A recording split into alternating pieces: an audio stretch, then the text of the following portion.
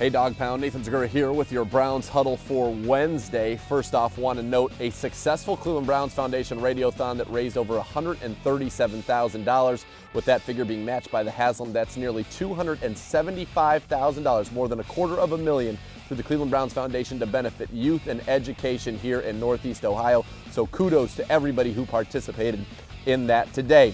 Another great bit of news today for the Browns. Rookie Carl Nassib is up for the Pepsi Rookie of the Week. You can vote for him at NFL.com. Nassib had three tackles, one sack, and one pass defense in his first game in the National Football League. Finally, one bit of news Browns wide receiver Josh Boyce is back with the team's practice squad. Boyce was with the Browns in training camp and has returned now and is on the practice squad with the spot that was vacated when Gabe Wright moved up from the squad to the active 53 following the placement of Robert Griffin III on injured reserve. For the latest on all things Cleveland Browns, keep it tuned to clevelandbrowns.com and the Browns mobile app.